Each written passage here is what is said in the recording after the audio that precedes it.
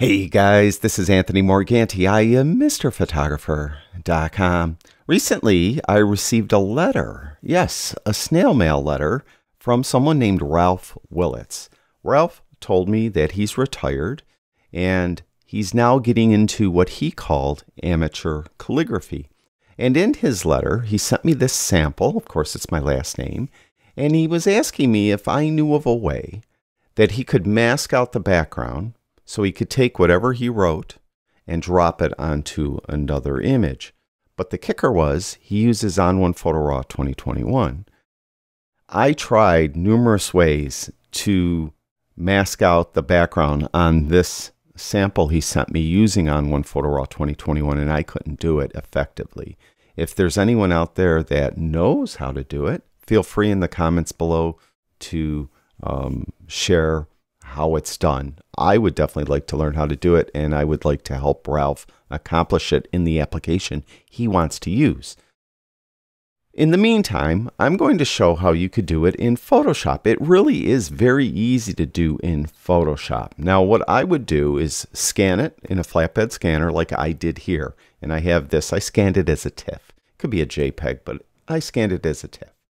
Now I'm going to crop it. I'm going to get rid of as much of that background as possible by cropping it. So I'm going to get the crop tool and I'm just going to, I'm going to make sure that I'm deleting crop pixels. Make sure you do that. And I'm just going to pull it in real tight to the lettering.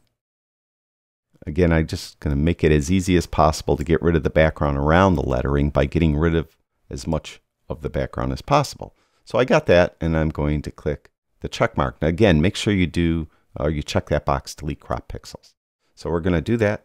And now we have our cropped image. I'm going to zoom in a little bit. I'm going to hit Command plus on my keyboard a couple times. It's Control plus on a PC.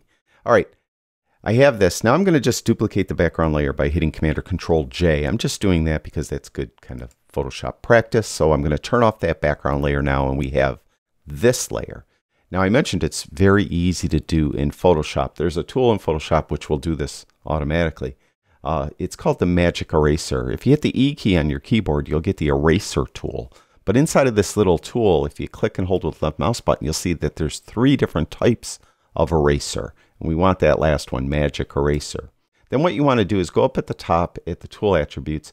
Tolerance of 32 is the default tolerance. Try it at that, see if that works. Keep anti-alias checked. Make sure contiguous is not checked all right? And you don't have to sample all layers in this instance. Just take that eraser and click anywhere on the background. So I'm going to click right there. Bam. I got rid of it. So now um, there's maybe a little mark here. You could see maybe some little places that it missed. If that happens, go to that eraser cubby again and get the actual regular eraser tool. And you could come in and if it missed anywhere, you could just clean up where it missed you know, maybe there, maybe there.